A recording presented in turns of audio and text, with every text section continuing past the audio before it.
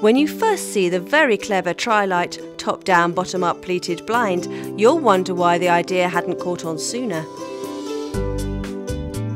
The versatile design offers the ultimate in light and privacy control by allowing you to position your blind exactly where you want it. Pull down as you would a standard blind and close fully for total privacy. But, and here's the clever bit, you also have the option to pull the blind up from the bottom of the window. Great for letting the light in through the top of the window whilst maintaining your privacy. It's a versatile solution, great for conservatories, but also ideal for other windows in your home.